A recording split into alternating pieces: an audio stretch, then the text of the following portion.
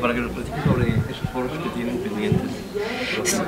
Estamos preparando el tercer foro mexicano de la pequeña minería y minería social.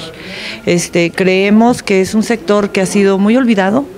Em, tenemos la promesa de nuestro gobernador José Rosa Saispuro de que le va a dar impulso a este sector.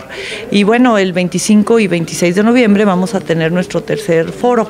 Están invitados pequeños mineros y mineros sociales, me refiero a ejidatarios, comuneros, pequeños propietarios también de todo el país.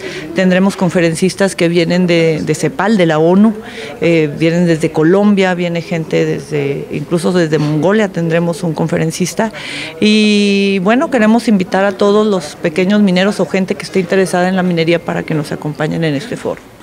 ¿Cómo vislumbran precisamente el apoyo por parte no solamente de los mineros que lleguen, que lleguen a acudir a este foro, sino también por parte del gobierno que entra ante, obviamente, los recortes que hay a nivel federal en, en todos los ámbitos? Sí, sabemos que hay recortes en todos los ámbitos, pero estos eventos son indispensables, son muy necesarios.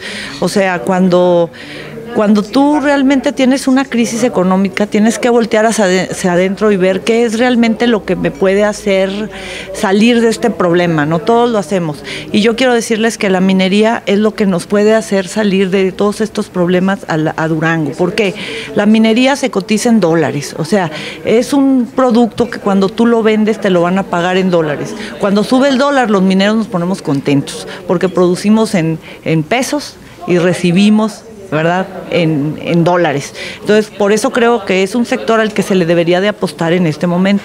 ¿Por qué la pequeña minería?